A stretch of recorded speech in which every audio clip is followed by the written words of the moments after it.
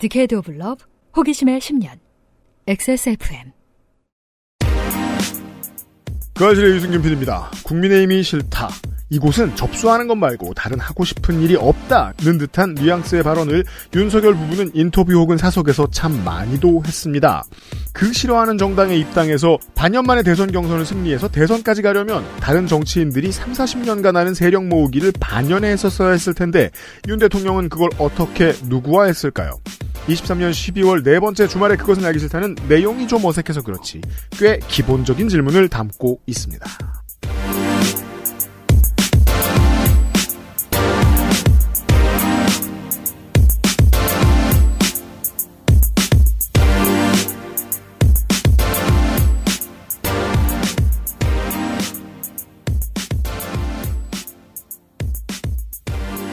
지구상의 청취자 여러분 크리스마스가 없는 곳에서도 좋은 주말 되시기를 바랍니다. 그것은 알기 싫다. 533회 토요일 순서입니다. 윤세민 에디터와 제가 헬마우스 이야기 듣고 있습니다. 메리 크리스마스. 허허허, 메리 크리스마스.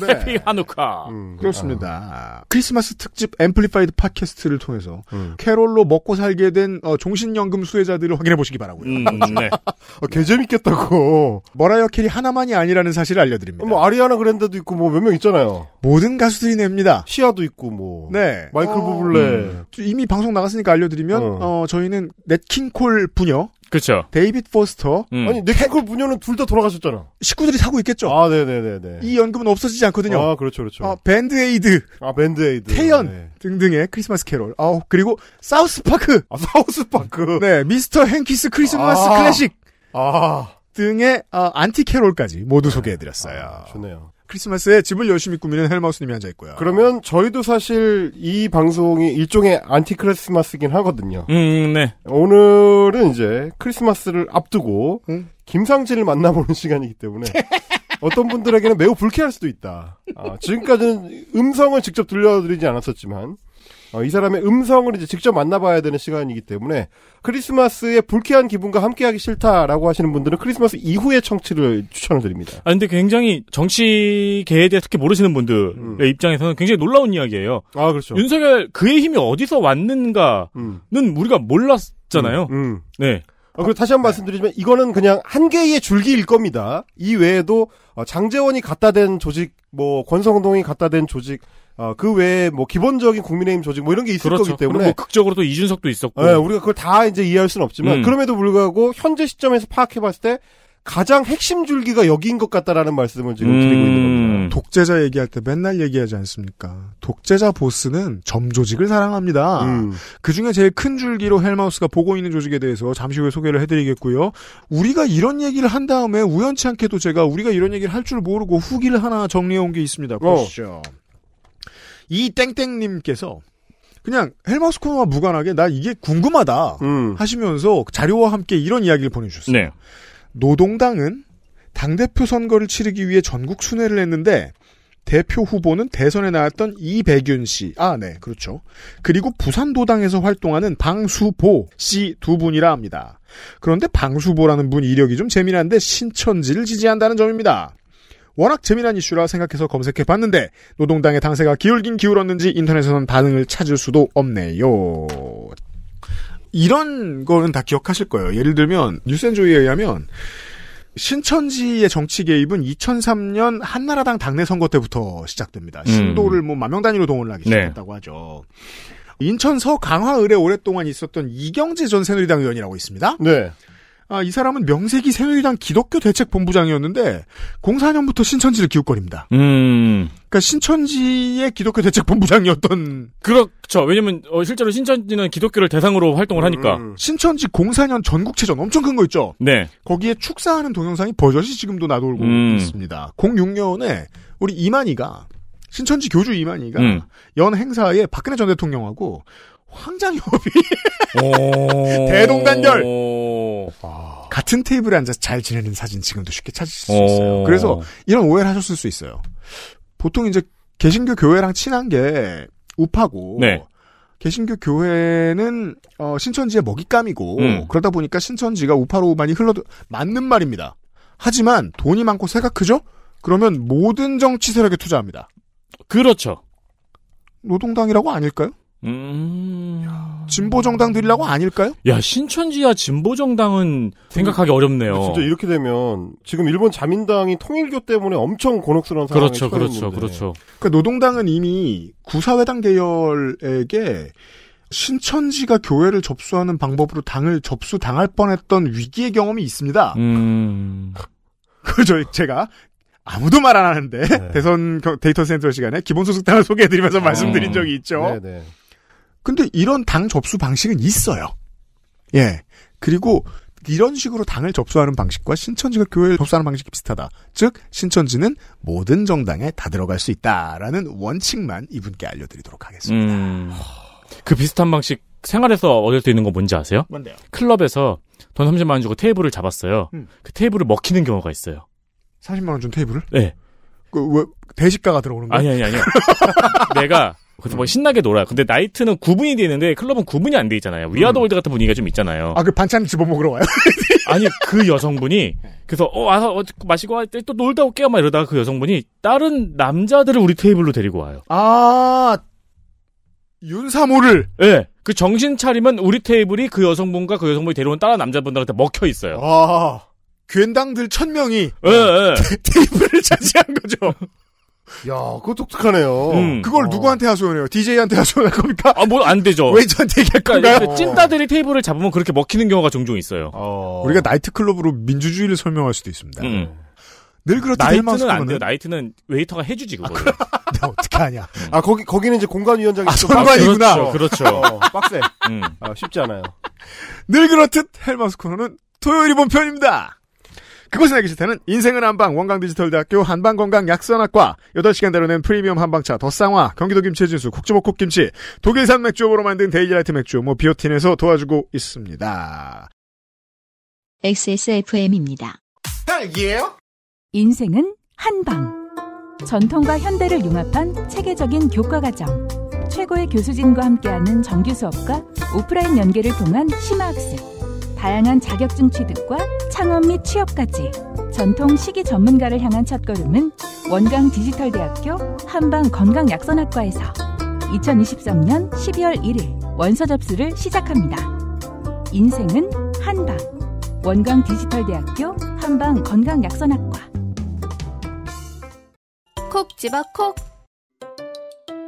믿어도 되는 김치를 찾을 땐 콕 집어 콕 햇서 빙진 김치 재료부터 공정 유통까지 안심 직접 구매한 재료로 만드니까요 그러니까 김치가 생각날 땐 콕 집어 콕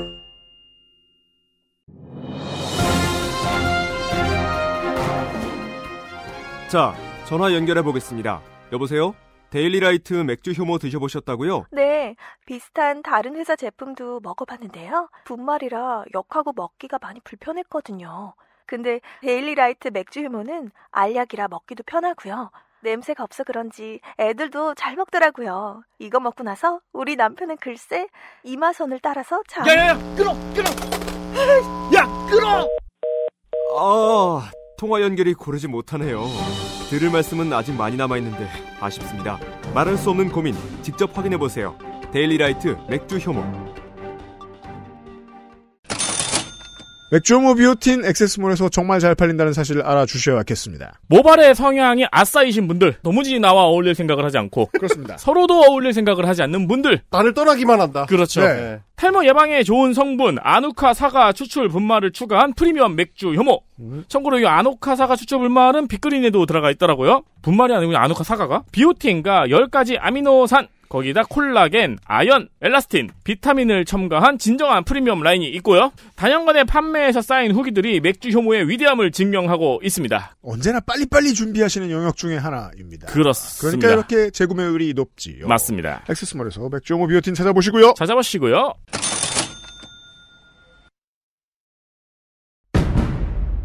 동지들 가짜뉴스를 헬로 보내 헬마우스입니다 모멸감을 주고 모욕감을 주고 치가 떨리게 하는 거 거짓말 좀 하지 말란 말이야 이 새끼야 대단한 얘기가 아니에요 가짜뉴스 만드는 유포자수는 너무 많고 그 새끼를 아무렇게나 만들어도 다 퍼뜨려주고 저 오물들을 치우려면 누군가는 오물통 속에 뛰어들어서 그 오물을 뒤집어쓸 각오를 해야 돼 가짜 뉴스 확인 과정. 헬마우스 코너. 팟캐스트 에디션. 이번 주의 이야기 기사 하나만 읽고 시작할게요. 이거는 뭐 그 우리가 알 수 없던 언론이 아니고 머니투데이입니다. 음. 21년 6월이에요.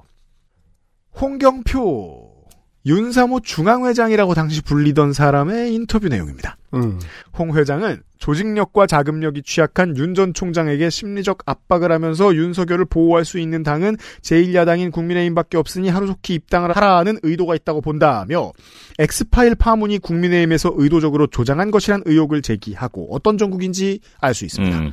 여야 정치인들은 더 이상 윤 전 총장을 흔들지 말라. 지금 국민의 관심은 자유대한민국을 지키고 바로 세우는 데 있다고 강조했다. 아니 근데 그 사람을 머니투데이가 인터뷰를 했어요. 누군간 냄새를 맡았어요. 홍 회장은 대선을 치르는데 조직이 동원돼야 하고 많은 자금이 필요하지만 걱정하지 않아도 된다. 조직은 윤사모와 민초들이 해결할 것이고 자금 또한 민초들이 해결할 수 있기 때문이다. 1년 넘게 우리가 준비한 실체를 곧 알게 될 것이라며 윤 전 총장은 윤사모와 전국의 민초들이 반드시 지킨다라고 했다. 한편 법무법인 신율의 법무이사를 맡고 있는 홍 회장은 어, 신율? 윤 전 총장의 출마 선언에 맞춰서 윤 사모 중앙회장직에서 물러나고 회원들의 뜻을 모아 자신보다 뛰어난 리더십과 조직력을 갖춘 인사를 이대 회장으로 선임할 것이라고 밝혔다. 찾아보니 흔적은 있네요. 그러네요. 아니 그리고 이건 지역지가 아니고 머투에서 네. 잡았네요. 일종의 이제 중앙지인 건데. 음. 그러니까 사실은 이미 뭐 흔적이라든지 징후라든지 이런 것들은 다 있었는데 신경을 쓰지 않았 거나 음. 왜냐면 이제 그러고 나서 오 하다가 순식간에 제1야당의 공식 대선 후보로 확정이 돼 버렸기 때문에 그렇죠. 그 전 단계에서 무슨 일이 있었는지에 대해서 이제 진지하게 신경을 안 쓰는 뭐 여러 뭐뭐 이게 흐름들이 있을 수밖에 없었던 거고 음. 뭐 생각해 보시면 이제 2011년에서 12년에 걸쳐 가지고 안철수가 조직화를 하려고 할 때도 여러 구설수들이 있었습니다. 음. 그리고 그게 이제 나중에는 뭐 이명박 정부나 박근혜 정부까지 이어지는 안철수의 이제 순환사하고도 이제 연결이 되기도 하는데 네. 어, 그런 것들도 시간이 지나서 다음 단계로 이제 해당 정치인이 넘어가 버리면 메이저화 되기 때문에 마이너 시절의 일들이 다 마이너화 돼 버리는 거죠. 네네. 그거랑 좀 비슷한 현상이에요. 근데 우리는 그럼에도 불구하고 그게 단순 마이너 현상으로 끝나지 않고 음. 현재 대통령이 된 이후에도 연결되고 있기 때문에 뿌리를 찾아볼 필요가 있다라는 말씀을 드리는 음. 거고요. 연못에 가서 물을 먹고 온 다음에 어, 연가시가 곱등이 몸속에 들어갔어요. 음. 그래도 우리가 봤을 땐 그건 그냥 곱등이거든요. 그렇죠. 이런 얘기입니다. 근데 아직까지 봤을 때는 냉정하게 음. 몰랐던 사실을 흥미롭게 음. 추리소설 찾듯이 찾긴 했는데 네네네네. 어디부터가 문제인지는 이제 오늘 나오는 거죠. 아, 오늘 나옵니다. 이 문제라는 게 어떤 문제, 그게, 이게 우리가 사실 윤석열 정부 들어와 가지고, 음. 아, 특이한 경험을 국민들이 하는 게 일종의 이제 가스라이팅을 당하고 있는 건데, 너무 계속 새로운 충격을 받다 보니까, 뭐, 처음에 우리가, 야, 이 선을 넘는 건 좀 심하지 않나? 라고 생각했던 것들이 점점 하단 수위가 높아져요. 묻어져요. 여당 정치 개입이 일상화되었고요. 그렇습니다. 그러니까 대통령이 직접적으로 하명하고 그게 사실 뭐 윤심하고 연결되는 거 아니야라는 이야기 같은 것들이 너무 자연스러워지는 거랑 똑같습니다. 음. 외교 구설수도 흔해져, 무역 적자도 그렇죠. 흔해져 이런 것처럼. 원래 같으면 하면 안 될 것 같은 어떤 움직임들이 지금 버젓이 자행되고 있는데도 불구하고 그게 좀, 좀, 그, 뭐, 너무 자연스럽게 받아들여지는? 제일 충격적인 거는 거부권에 둔해졌어요. 아, 그렇죠. 네. 지금 뭐 그냥 대통령 마음에 안 들면 무조건 그냥 거부권 행사하잖아요. 거부권 행사는 굉장히 큰 네. 일인데 음. 그러니까 정치적으로 대통령 임기 5년 동안에 한두 번 정도 행사하는 게 정상적인데. 그렇죠. 아주 상징적인 사건에. 이미 네 번째 행사하고 있거든요. 1년 반 만에. 음. 이제 이런 상황이다. 그러면 이제 이걸 되돌려서 우리의 이야기로 가져오면 어떻게 되느냐면, 자, 지난 시간까지만 하더라도 대선 후보 윤석열하고 어떤 사조직 형태로 만들어진 윤사모와 그 주변 인물들이 연결돼 있었던 것 같다. 음. 정도까지는 봤어요. 그럼 네. 이제 여기까지 들으면 그네 추측이지 그거는 음. 그 정도의 단서를 가지고 윤석열 대선 후보 캠프가 뭐 이 사람들하고 직접 연결되거나 아니 그거 자발적으로 참여하는 사람들이 와서 도와주겠다는데 그럼 뭐 어떡하냐 뭐 음. 그 정도로 가지고 어 증거 있느냐라고 음. 이야기할 수가 있는데 증거가 있어요. 증거가 나옵니다. 음. 증거가 대선 그 치르는 과정에서도 속속 튀어나오는데 음. 너무 큰 일들이 거기에 같이 있으니까 음. 얼렁뚱땅 넘어가거든요. 네. 이를테면 대선 기간 동안에 있었던 소위 네트워크 본부 논란이 있습니다. 네트워크 본부 논란? 네트워크 본부가 뭐냐면 윤석열 대선 후보 캠프 안에 여러 이제 그 가지친 줄기들이 각 조직들이 있는데 네. 그 조직 중에서 네트워크 본부라는 조직이 있었습니다. 음. 어, 이 중앙선대위 안에 네트워크 본부에 어, 이, 뭐, 그 본부장이 그 당시에 누구였냐면, 지금의 권영세 의원입니다. 권영세 의원? 통일부 장관을 했었던 권영세 의원이 네트워크 본부장을 이제 그 당시 하고 있었고요. 우리 길 건너 국회의원이죠. 어, 용산구입니다. 음. 네. 근데 이제 그게 왜 중요하냐면, 이 네트워크 본부라는 거는 결국 이제 전국 조직을 운영하는 네. 그 단계거든요. 이 단위이기 때문에 어떻게 하면, 어, 유사일을 하는 데 있어서 가장 핵심적인 역할을 하는 조직입니다. 그렇죠. 근데 이 네트워크 본부에 수석 본부장 관련된 영상이 하나 올라왔어요, 그때. 김형준 국민의힘 중앙선대위 총괄지원본부 산하 네트워크 본부 수석 부본부장께서 네트워크 본부 역할에 대한 설명을 했다라고 하는 영상. 이거를 경향신문에서 입수를 했습니다. 한 단어만 기억하십시오. 김형준. 그때 뭐라고 하느냐? 네트워크 본부란 뭐 하는 조직이냐? 윤사모, 즉 윤석열을 사랑하는 모임, 윤사모 등 윤 후보를 지지하는 단체들을 지원하기 위해 발족했다. 자, 당 캠프는 이 외부에 있던 야인의 조직을 받아들이기로 했습니다. 그렇습니다. 외부에 있는 이 사조직을 지원하는 게 네트워크 본부의 역할 중에 하나다. 음. 그러면서 이제 김영준 전 부본부장은 경향신문한테 이렇게 얘기합니다. 네트워크 본부가 26개 전국 조직을 지원한다.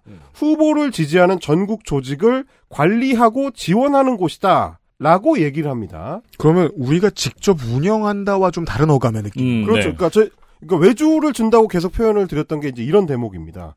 어, 외부에서 윤사모가 별도로 조직을 꾸리고 운영하고 자기들끼리 직책도 주고 하는데 그 조직을 지원하는 거는 공식 캠프 안에 들어가 있는 겁니다. 음. 그러니까 사실상 공식 캠프의 사조직 같은 거죠. 윤석열의 개인 조직에 가까운 겁니다. 이런 부분을 공식적으로 이미 인정을 했다라는 고리가 하나 있는 거고요. 음. 제가 네트워크 본부 논란에 의해서 이제 묻혀졌다라고 얘기하는 게 뭐냐면 이 네트워크 본부는 건진 법사가 거기에 이제 고문으로 참여를 하는 에? 음. 어 그게 논란이 됐습니다. 아, 그게 그 거기구나. 건진법사가 새해 맞아가지고 윤석열 후보가 네트워크 본부 찾았을 때 뭐 소개시켜준다면서 맞아. 어깨 이렇게 툭툭 두들겨가지고 누구랑 인사해라 이쪽으로 와라 이거 하다가 영상이 발견돼서 난리가 났던 네. 그죠. 건진의 이 부부에 대한 물리적 하대가 그렇습니다. 그러, 이슈가 되면서 그러고 나서 권영세 그 당시 선대본부장이 네트워크 본부를 해산시켜버리죠. 음. 이때 얼렁뚱땅 넘어가서 그렇지 사실은 윤사모가 하부 조직으로 중요한 역할을 하고 있었다는 단서는 이미 나왔었고요. 그러네요. 그리고 실제로 윤사모 쪽에서 나중에 밝힌 바에 따르면 지금은 민주평통 사무처장을 하고 있지만 윤석열의 30년지기 친구로 더 유명한 석동현, 석동현 변호사가 대선 캠프에 몸담고 있는 동시에 윤사모의 상임 고문을 맡았습니다. 알려진 바에 의하면 어, 하태경 의원이 눈물을 흘리며 떠나간 그 지역구에 들어갈 것으로 알려졌죠. 부산 해운대구의 유력 후보로 이제 뽑히죠. 음. 네. 자, 그러면 인력을 공유하고로 인력도 보통 인력이 아닙니다. 윤석열의 이제 분신이라고도 할 수 있는 핵심 인력이 윤사모의 상임 고문이라는 거는 거기에 고문으로서의 그냥 단순 업무를 넘어서는 음. 고문 of 고문이라는 얘기니까요. 네, 네. 문호부 고문. 인력을 공유하고 조직을 공유하고 지원을 받는 조직. 음. 그러면 그게 뭡니까? 윤석열과 직접 연결돼 있는 조직이다. 우리가 이렇게 판단할 수가 있는 거죠. 역산으로 해봐도 맞는 말이잖아요. 국민의힘과 직접 연결돼 있던 조직은 아니거든요. 그렇습니다. 국민의힘에서 가장 중요한 일을 하지만 이제 아니, 우리 테이블에 클럽에서 우리 테이블에 윤석열을 데리고 왔더니 음. 다른 남성분을 데리고 오기 시작하네요. 이- 윤가시. 어. 윤가 씨. 네. 자, 이거를 단적으로 보여주고, 뭐, 물론 여러 증거들이 있지만, 저는 좀 제일 재밌었던 게, 음. 어, 대선 때 국민의힘에서 운영했던 AI 윤석열이라는 아이콘이 그렇죠. 있습니다. AI 윤석열. 자꾸 말실수를 하자. 이제 사람에겐 못 맡긴다 어, 하며. 그렇죠. 본인한테 맡기면 애드립을 하- 자꾸 하니까, 음. 네. 애드립을 할 수 없도록 통제하겠다. 그래서 통제가 이제, 되는 윤석열. 아, 이- 뭐 이준석이 만들었다고 하는 그 AI 윤석열, AI 윤석열이 윤석열 후보를 대신해서 여러 곳에 메시지를 보냈습니다. 음. 일테면 뭐 서울대학교 동문회 뭐 이런 데 이제 메시지를 보내서 인사하고 저를 지원해 주세요 뭐 이런 거 하고요. 음. 아니면 해외 동포 여러분 네. 뭐 이런 식으로 이제 메시지를 보냈는데 새해 메시지를 보낼 때 콕 집어서 윤사모에만 별도로 메시지를 보냅니다. 음. 요거를 제가 좀 잘라왔는데 잠깐 들어보시겠습니다. AI 윤석열입니다. 새해 복 많이 받으십시오. 정의와 공정, 상식이 통하는 세상을 만들기 위해 고군분투하고 있는 최성덕 회장님과 회원 여러분들의 노고에 진심으로 감사의 인사를 드립니다. 또한 자발적으로 전개하고 있는 나라 살리기 시도민 결의대회에도 감사 인사를 드립니다. 자, 내용을 기억하시고 제가 요런 걸 말씀을 드릴게요. AI의 이 학습 기능이 오디오를 학습해요. 네. 근데 그 사람이 하는 말을 듣죠? 근데 그 사람이 하는 말은 자연 상태에서 발화됐어요. 여기서 음. 자연 상태라는 말은 음. 일반적인 생활 소음을 가지고 있어요. 음. 공기 소리. 음. 그래서 그걸로 배워서 공기 소리가 섞인 어떤 말들을 합니다. 왜냐하면 사람의 말은 어차피 공기가 많이 섞여 음. 있으니까. 그리고 휴지기에는 그 공기 소리가 빠집니다. 이게 AI 소리를 구분하시는 가장 중요한 원칙 중에 하나입니다. 음. 현재까지 개발되어 있는 음. 그리고 현재까지의 AI 엔진들이 이게 좀 어설픕니다. 자, 기술적인 거 파악해 드릴게요. 휴지기에 사람은 다시 숨을 모으죠? 그 숨을 모으는 소리도 배우거든요? 음. 근데 아직 그 부분이 헐렁해요. 음. 그래서 숨 모으는 소리를 보통 한두 가지로 처리하고 끝내요. 음. 그래서 숨 모으는 소리가 비트가 일정하고 소리가 거의 똑같습니다. 음. 사람 말은 절대로 그렇지 않아요. 음. 그러니까 앞으로 AI 소리로 뭐 이상한 일들이 선거 때가 되면 판일칠 가능성이 높은데 음. 거기에 속지 않으시는 법을 소개를 해드립니다. 음. 말을 하지 않는 휴지기의 소음이 완전히 사라지면 음. AI가 만든 것일 가능성이 좀 높습니다. 그러니까 이 사운드가 그런 거였던 거고. 네, 숨을 다시 모으는 이거 할 때도 다 똑같은 소리가 음. 납니다. 이거 주의 깊게 들어보셔야 되고 내용은 헬마님이 설명- 설명하시죠. 자, 지금 들어보신 대목에서 중요한 거는 최성덕 회장님? 최성덕 회장님을 직접 언급을 합니다. 그러니까 이 캠프에 참여하고 있는 사람이 이 윤사모에 보내는 메시지를 작성을 했을 거고요. 그거를 이제 기계한테 그대로 입력을 했을 텐데 그 사람도 어느 포인트를 강조해야 상대가 좋아하는지를 명확하게 아는 거죠. 음, 진짜 성덕이 되어가네요. 그렇습니다. 여기서 최성덕 회장님을 굳이 언급하고요. 또 하나 중요한 거는 윤석열 캠프가 윤사모가 전개하고 있었던 나라 살리기 시도민 결의대회. 우리 어제 들었습니다. 나라 그렇습니다. 살리기 요리 대회. 네. 유사 선거운동이라고 말씀드렸잖아요. 그렇죠. 음. 이거를 명확하게 당시 캠프가 인식하고 있었고 음. 이걸 치하해야 할 정도로 중요하게 생각하고 있었다는 점도 여기서 드러납니다. 그러니까 이 AI 윤석열의 대본은 음. 국민의힘에서 쓴 거. 그렇죠. 국민의 내부 캠프에서 작성한 네, 거죠. 네. 그리고 이제 캠프의 그 내부자는 이 조직의 성격 그리고 이 조직의 사람들한테 메시지를 전해줬을 때 뭘 좋아할지를 아주 잘 알고 있는 사실상 공유하고 있는 내용을 상당히 공유하고 있는 사람들이라는 점을 여기서 지금 알 수가 있는 겁니다. 그리고 아, 맞다. 보통 이런 업무가 떨어지면은 음. 어떤 식으로 떨어지냐? 키워드 이거 이거 넣으라고 떨어진단 그렇습니다. 말이에요. 여기 지금 들어가 있는 키워드를 뭐- 정의, 공정, 상식은 기본이라고 치면은 음. 최성덕과 나라 살리기 시도민 결의 대회가 들어가 있는 키워드예요. 그리고 제가 이상하게 느끼는 건 역사와 전통의 정당이잖아요. 음. 정당 오피 셜의 입장에서 봤을 때는 이런 사조직이 대선 캠프를 선두에서 이끌고 있다는 건 기분 나쁜 일이에요. 그렇죠. 실제로 만났을 땐 고맙다고 해도 오피셜 메시지에 넣고 싶지 않거든요. 그렇죠. 정당의 입장이라는 음. 이준석의 입장 같은 음, 거죠. 음, 내말 들으라고. 음. 그렇다면 캠프에서 AI 윤석열이 할 말을 입력할 권한을 가지고 있고 그 입력된 내용을 승인할 권한을 가지고 있던 사람들도 음. 이 조직과 가까운 사람들이라고 봐야죠. 음. 그렇죠. 그리고 이제 캠프가 유사 선거 운동을 독려하고 있었다는 걸 이제 하나 보여주는 거고요. 또 하나는 물론 어느 대선 캠프든지 어느 정당이든지 간에 외부에 이제 협업하는 조직은 다 이제 있기 마련입니다. 그게 네. 이제 시민단체의 성격이든 뭐 체육협회의 성격이든 무엇이든지 간에 있을 수 있는데 다만 우리가 오늘 이 시간을 통해서 지적하고 싶은 거는 밀착도가 어느 정도냐. 그러게요. 그리고- 이게 중요해요. 그렇습니다. 그리고 이제 그 밀착도를 기반으로 해서 인력의 공유, 그러니까 사실상 한 몸처럼 움직이느냐 아니냐 이런 것들을 잘 봐야 되거든요. 근데 그 고리가 어, 첫 시간부터 계속 강조했듯이 장철호 자유총연맹 사무부총장입니다. 북맨. 북맨, 자 북맨이 캠프에 직접 들어와가지고 아, 이건 까먹으셨을까봐. 어 그죠. 대북 지원 유세팀을 운영을 했고요. 음. 북을 치면서 유세 현장을 사실상 이제 지휘하는 한 축 중에 하나였습니다. 음. 그런데 그 북맨이 어떻게 윤사모와 연결되느냐? 제가 왜 윤사모 얘기를 한 시간 동안이나 이러고 있느냐? 그 윤사모가 단순 사조직이 아니고 정당 조직이었다라고 말씀을 네. 드렸고요. 그 정당 조직 다 함께 자유당의 당무감사위원장이었던 사람이 누구냐? 장철호입니다. 이 신화는요. 아직 장철호가 여기까지밖에 못, 못 올라와서 망정이지. 아 그렇죠. 예브게니 프리고진처럼 될 수 있는 음. 거예요. 요리사 하고 그렇죠. 그러니까 뭐 요리사도 원래 잘 배워서 한 것도 아니고 네. 그냥 뭐 술 마시는 친구 됐다가 나중에 세계 최대의 용병 회사를 키우는 회장님이 될 수도 음. 있는 거예요. 음. 그 이게 단순히 해산되고 끝난 정당이면 뭐 그러려니 하는 거죠. 이제 반기문의 정당 조직도 물론 쪼개지고 흩어진 뒤에 네. 뭐 여럿이 또 자유한국당으로 흡수됐지만 그거랑 비슷한 양상일 수도 있습니다. 그런데 그 사람이 그 이후에 당선 이후에 어떤 역할을 맡았는가 이게 굉장히 중요한 거죠. 그러니까 그 여기 이제 이제 논공 행상이잖아요. 그겁니다. 그러니까 평당원으로 다시 돌아오면 그건 잔당이지만 음. 요직을 맡아서 들어오면 접수죠. 자, 윤사모에 가입을 했고요. 다 함께 자유당이라는 사실상 윤석열을 위한 외부 플랫폼을 만들 때 참여해서 당무 감사원장 같은 중요 직책을 맡았었습니다. 그리고 그 장철호가 나중에 유세 지원팀의 중요한 역할을 하다가 나중에 대통령이 당선된 뒤에는 대통령의 호위 무사 역할을 하다가 음. 그걸 다시 자유총연맹까지 옮겨와가지고 조직화를 하는 데 있어서 핵심 역할을 하는 북맨 대선 공기예요. 이 서사거든요. 자, 음. 최성덕이 인터뷰에서 뭐라고 하느냐. 다함께 자유당 해산 결정 후에 윤사모는 제2기 체제를 출범시키고 이게 이제 본인입니다.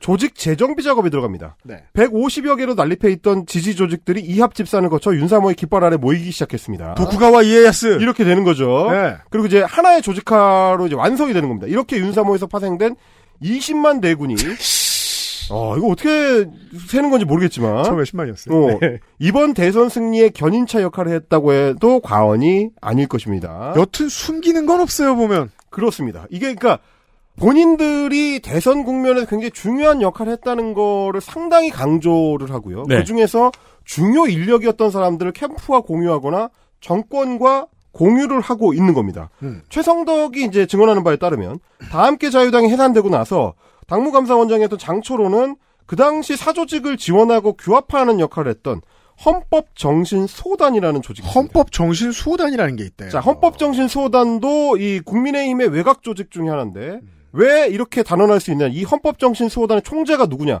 노철래 전 의원입니다. 노철래 경기 광주 그렇습니다. 16년쯤이었나요? 선거법으로 날아간 다음에 태극기의 파이오니어가 됩니다. 어. 태극기 행동본부 뭐 이런 거 하셨어요. 그러면 이 단체가 또 어떤 성격을 갖고 있는지를 알 수 있죠. 다시 태극기로 돌아와요. 자, 헌법정신 수호단장의 조직 총괄본부장이 장철호입니다.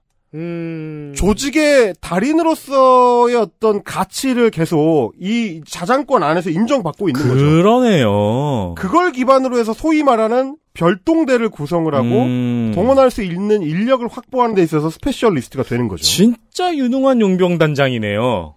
자, 그래서 그걸 갖고 이제 대북 유세 지원팀을 만듭니다. 여기서 정말- 말한 대북은 다시 말하지만 big북입니다. 아, 네. 서북 청년단 단장이 회고록 쓰면 나올 것 같은 얘기입니다. 그러니까요. 내가 네. 어떻게 조직을 키웠나. 자, 그러면 이 사람의 활용 가치라는 게 이제 다 나오는 거죠. 사람들을 모아들이고 그 사람들을 행사장으로 끌고 오고 어떤 행동을 공통되게 수행할 수 있도록 이끄는 역할.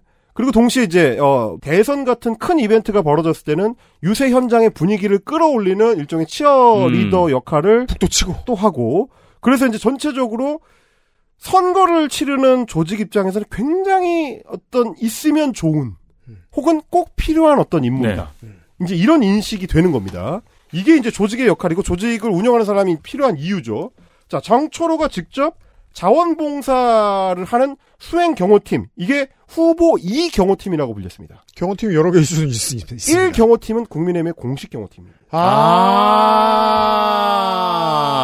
아, 이런 건 줄은 몰랐네. 아니, 그러면 진짜 국민의힘이 정말 너무 실력 없는 당이라는 건 여기에서 이제 기본 전제라 생각도 안 나는 것이 이렇게까지 순식간에 모르는 사람들한테 당을 접수당하는 게 어딨어요. 그렇죠. 그러니까 원래는 상식적이면 국민의힘 공식 경호팀만 있으면 되는 거잖아요. 그러니까 저는 이 시점에서 가장 샤프하다고 굴고 있는 우리 당시의 당대표도 참 안타까운 게 남의 뒷담 그렇게 열심히 까는 사람이 그러니까 자기 똑똑하다는 얘기를 하기 위해서 이 얘기는 또 왜 안 해요? 음.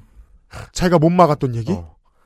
홍보팀 쪽에 들어오는 거 막았다는 얘기만 이제 계속하고 있죠, 지금. 음. 자, 어쨌든, 자, 윤석열 후보가 대선 경선에서 승리한 날 이제 철철 눈물을 흘리는 모습이, 장철호가 눈물을 흘리는 모습이 YTN 카메라에 잡혔는데, 음. 아, 그 장면을 두고 윤서, 윤사모 회원들 사이에서는 이제 울보 장철호, 이런 이제 애칭을 또 이제 붙여줬다고 음. 합니다. 그만큼 이 사람이 윤사모 내부에서도 인지도가 상당히 높고, 그렇죠. 그렇죠. 사랑받는 인물이었다는 얘기인 거고요. 음. 그리고 본선에서 말씀드린 대북, 대북 유세단. 유세 팀을 했고, 음. 어, 북치는 남자를 하고 나서는 아크로비스타 앞에서 이제 어, 진보 단체 뭐 예를 들면 이제 서울의 소리 같은 데서 이제 집회를 벌일 때 맞불 집회를 주도를 했고요. 그렇죠. 그리고 이런 과정들에서 다 유세를 다니고 맞불 집회를 벌이고 이 과정에서 아스팔트 유튜버들하고 네트워킹을 형성합니다. 해결사구나. 이게 진짜 되게 환타지물 중세를 배경으로 한 이런 것 같은 게. 음. 막 시끄럽게 막 싸우고 있어요. 그러다가 어? 여기 책임자는 누구요? 그랬는데 저 북친 사람이라고. 음, 맞아, 맞아. 맞아, 맞아, 맞아, 맞아. 어, 그렇죠. 알고 보니까 내가 여기 지나오면서 하대한 사람이었던 그러니까 거야. 삼국지 같은 거죠. 이렇게 막 저건 그냥 궁수 아니야. 근데 관우고. 그렇죠. 근데 언월도 대신 북. 음. 빅드럼. 그래서 이제 쭉 그 연대기를 보시면 윤사모에서 시작을 해가지고 외부 정당 플랫폼에 있다가 윤석열 캠프 조직체육으로 갔다가 어, 윤석열 대통령 사저의 사병으로 음. 그죠, 사병이죠. 네, 사병으로 잠시 있다가 자유총연맹에 가서 조직화 역할을 하다가 지금은 이제 아스팔트 유튜버들의 이제 방송에 출연하는 역할을 하고 있는. 야, 이 사람을 자유총연맹에 꽂은 거는 제가 이 정권 들어가지고 가장 훌륭한 인선이네요. 그러니까 이게 왜 짜친 얘기가 아니냐면 그는 실제로 정당을 어느 정도 접수하는 역할까지 했고 음. 네. 대선 캠프에서 대선 캠프에 접수하면 접수한 거지 뭐 음. 그리고 대통령을 만드는 역할까지 했으며 음. 그렇습니다. 현재는 그 전에 만들어 놓던 헌법 정신을 유린하는 일을 적극적으로 하다가 너무 빨리 들켜서 잠깐 물러난 정도. 그러면 되게 큰일 한 사람이잖아요. 음, 나쁜 그렇습니다. 의미에서. XSFM입니다. 딸기예요? 콕 집어 콕. 좋은 원료를 쓴 김치를 만들 시간이 없을 땐 콕 집어 콕. 배추, 무, 고춧가루, 생강, 전부 국산. 다시마, 홍합, 표고버섯도 아낌없이 쓰죠. 그러니까 김치가 생각날 땐 콕 집어 콕. 임금님께 진상한 전통 방식 그대로 현대인에 맞춘 프리미엄 한방차 더 쌍화 이 연결고리로서의 장초로를 말씀을 드렸는데 그러면 이 장초로가 데려온 사람들 그리고 관리하는 사람들 운용하는 사람들의 역할은 뭐고 어떻게 계속 운용이 가능하냐는 겁니다. 네. 그러니까 이제 뭐 자발적으로 참여해서 봉사하는 것도 하루 이틀이지. 결국은 계속해서 생계를 유지할 수 있는 뒷받침이 있어야지만 뽀찌 이게 유지가 되는 거거든요. 그렇죠. 모든 정치 조직도 결국은 그 조직을 운영하고 이제 유지하기 위한 노력이 거기에 들어가는 음. 건데 첫 시간에 말씀드렸던 직책을 통해서 명예를 부여해주고 그리고 거마비, 담배값, 과자값을 챙겨주는 뭔가 이득 관계가 거기에 개입이 돼야지만 음. 이게 건강하게 유지가 되거든요. 시들시들해지지 않습니다. 음. 그러면 그 사람들을 어떻게 하느냐 하는 거를 단적으로 보여주는 게 아스팔트 조직 관리의 알파이자 오메가 상진아재 김상진입니다. 김상진으로 넘어가겠습니다. 그렇습니다. 와, is back. 윤석열 패거리가 아스팔트를 어떻게 관리하고 육성하는지를 상징적으로 보여주는데 음. 자 대선 과정에서 저희가 이제 헬마스 코너를 통해 소개해드렸던 그 장면이죠. 네. 윤석열 후보가 지나가다가 예, 김상진을 발견하고 어 오랜만이야라고 어깨를 툭 치고 가죠. 음. 어 그리고 상진아재 오늘 개 탔네라는 이제 주변의 칭송이 상찬이 이제 따랐었던 그 김상진 그리고 안정권의 옛 은사 지금은 원수 음. 둘이 아주 치열하게 싸우고 있거든요. 그렇대요. 아, 그러니까 안정권 그 사람은 출소했겠네요. 어 보석으로 나왔어. 보석으로 나왔겠군요. 네. 어, 7.8기 일곱 번 보석 신청했는데 기각당하고 와. 여덟 번 아, 7.8기라기보다 이제 7.7금 같은. 맹맥에 좀 더 가까워. 그럼 착하게 살아야지 네. 네, 네.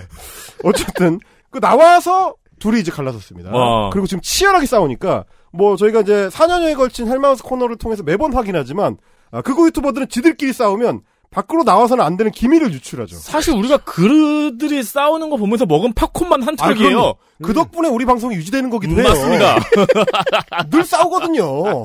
김세희와 강영석이 갈라졌을 때 얼마나 쾌재를 불렀는지. 네. 이제 비슷한 일들이 벌어지고 있는데, 어, 그리고 이제 김상진을 소개할 때 빠지면 안 되는 게, 소위 검찰청 화환 행- 행렬에 있어서, 음. 김건희 고모 김혜선 목사, 아, 이것도 이제 헬마우스 코너에서 소개드렸죠. 아, 네. 久しぶり. 둘이서, 어, 주도했다라고 서로 주장합니다. 그렇습니다. 어, 항상 이제 이 공로는 과장해야 되니까. 음. 음. 그리고 이제 대통령 취임식 때 김건희 명의로 된 특별 초청장을 받았던 인물이고요. 음. 어, 매 명절마다 대통령 부부 명의의 어, 대통령실 명절 선물을 unboxing을 하고 있습니다. 아, 그 수입상으로 유명했던 그. 지난 추석에도 언박싱을 했습니다. 네. 자, 그 인물, 어, 대통령과의 직접 친분, 음. 그리고 대통령을 향한 loyalty, 행동력과 심지어 기술력까지. 왜냐면 다년간에 걸친 이 어, 집회 유튜브 방송을 통해서 그 분야에 있어서 top급의 기술력을 보유하고 있습니다. 인력도 보유하고 있고요. 음. 그런데 그 인물을 어떻게 대통령이 관리하느냐를 음. 살펴봐야 됩니다. 자, 일단 좋아요. 자유총연맹 자문위원 중에서도 미디어 분과의 공동위원장입니다. 자, 그러면 우리가 1회에서 들었던 그 숫자가 무섭게 다가옵니다. 이럴 사람이 500명이야? 네. 무섭죠, 이제? 음. 그 중에서도 미디어 분과 대장입니다, 이 사람이. 음. 자, 그런 자리를 통해서 명예를 부여해주고요.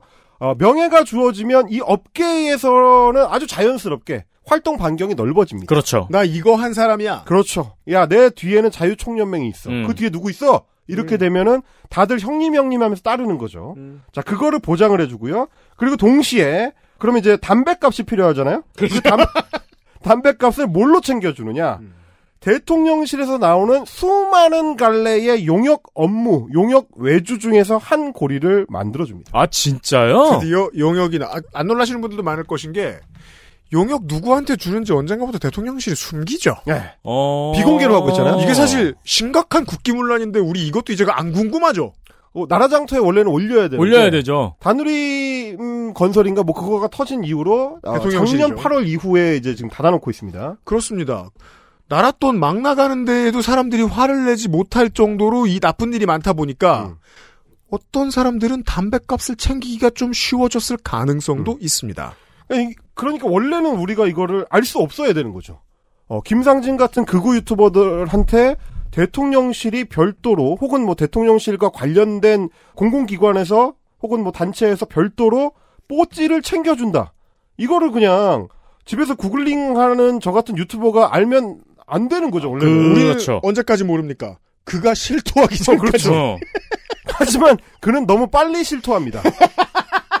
습성. 어, 심지어 실토한다는 인식조차 없이 일이 진행되는 동시에 이미 말하고 있습니다. 왜냐면은 자랑해야 되거든. 아, 그렇죠. 약쟁이 스타일이죠. 어. 음. 일반인들하고 모여 있을 때 기분 좋은 일 있으면 결국은 그 말을 합니다. 예.